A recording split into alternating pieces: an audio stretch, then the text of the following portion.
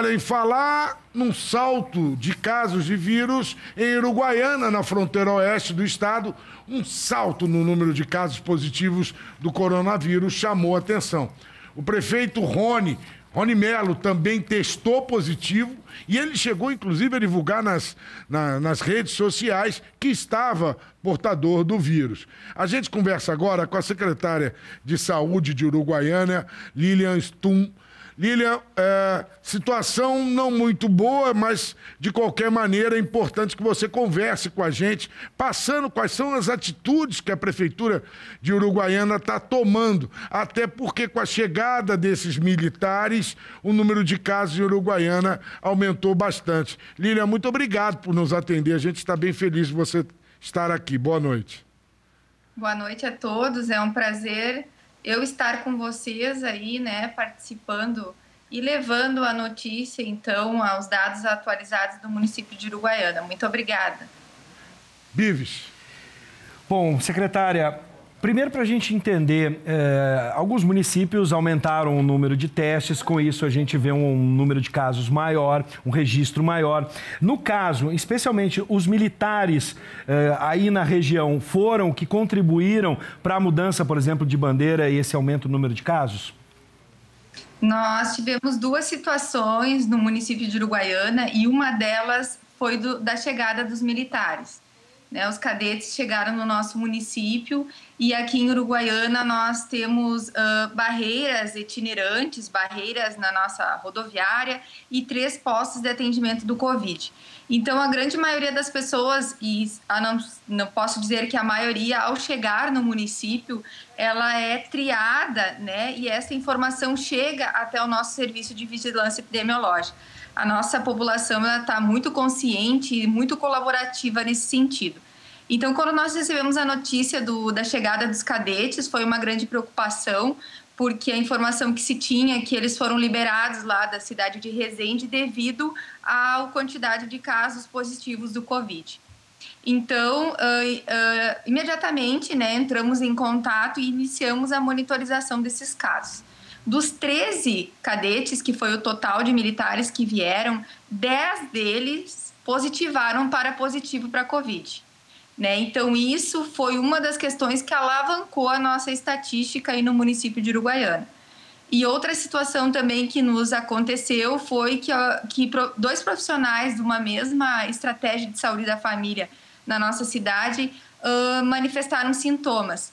E nós fizemos uma testagem uh, na equipe e nessa equipe, então, outros 10 positivaram para IgG da doença. Então, eh, devido a isso, a nossa estatística aí disparou, né, uh, de uma forma muito intensa sim, de quinta-feira para cá. Uhum. Não tenha dúvida. Secretária, é, eu gostaria de pedir, por favor, se a gente conseguisse colocar o mapa do Rio Grande do Sul, enquanto a gente conversa com a secretária, só para confirmar o número de casos de Covid, pelo menos pela Secretaria da Saúde do Estado.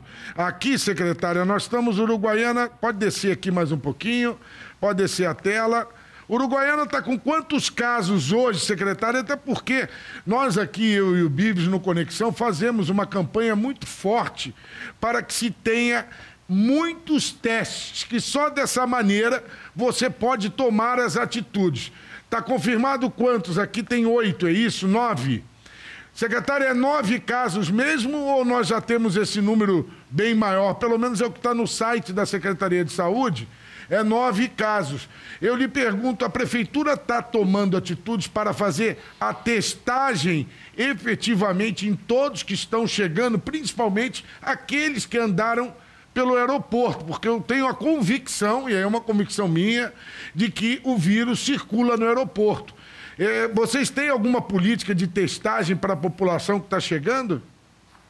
Nós, nós, nos, nós utilizamos o protocolo do Ministério da Saúde e o nosso serviço de vigilância epidemiológica, então ele monitora todos esses casos que essas pessoas, né, que chegam no nosso município, assim como todas as pessoas da a, a, nossa comunidade, né, que consulta nos postos de triagem de Covid. Então, Uruguaiana montou três postos, né, ou seja, três ambulatórios de apenas atendimento para Covid. Então, eles são classificados e, e, agendados os testes rápidos. Então, tanto para essas pessoas que chegam, oriundas de outros municípios, assim como da nossa população, o nosso, nossos profissionais de saúde, a segurança pública, idosos, gestantes. Então, nós estamos testando, por isso que está aparecendo os casos. Sim. O momento que se iniciou a testagem, começa a se começa a aparecer. E qual é o número, secretária? Qual é o número atualizado que a senhora tem aí? Porque na Secretaria do Estado aparece apenas nove. Oito, oito. Oito, oito, perdão, na Secretaria do Estado. Hoje, é,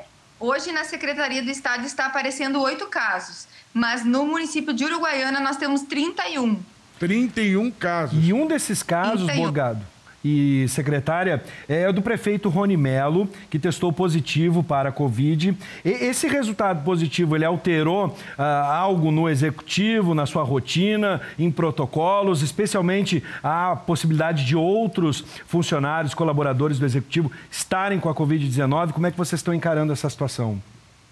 Nós, claro que nós somos pegos de surpresa com o, o teste positivo do nosso prefeito. Uh, nós estamos testando, sim, profissionais de saúde conforme sintomatologia ou contato. Nós tivemos 10 profissionais testados positivos e os demais casos foram os militares e a população em geral. É, secretária, a Uruguaiana é uma cidade de fronteira, né? Nós temos a Argentina.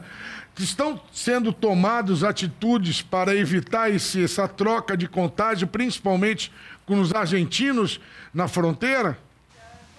É, exatamente, é, desde o início, desde que iniciamos nossos trabalhos de prevenção Covid, a nossa fronteira é uma grande preocupação. Então, na fronteira, nós temos barreira sanitária, né, tanto do lado argentino como brasileiro, do qual a gente faz todas as medidas preventivas para a passagem desses estrangeiros. Perfeito, secretária. Muito obrigado pelos esclarecimentos. É, eu tive em Passo dos Libres é, há pouco tempo, no final do ano passado. É uma cidade belíssima, maravilhosa, adoro Uruguaiana. Ainda mais porque tem free shop, só para dar a dica para você estar em casa, tem free shop do lado brasileiro. Você não precisa atravessar para o outro lado. Caiu a, caiu a, a, a, ligação com a secretária, mas de qualquer maneira voltou, voltou. Está aqui a secretária novamente. Secretária, muito obrigado por nos atender. É importante dar essa informação para toda a população. E Uruguaiana, que é uma cidade que eu gosto muito, sempre que posso, vou na fronteira. Uma boa noite para você e cuidem-se aí, né? Vamos nos cuidar sim. Boa noite, obrigada pela oportunidade. Tá feito aí a secretária é, de Uruguaiana, trazendo que os números que estão no, na, no site da Secretaria do Estado são oito, mas na verdade são 31 que ela acaba de anunciar.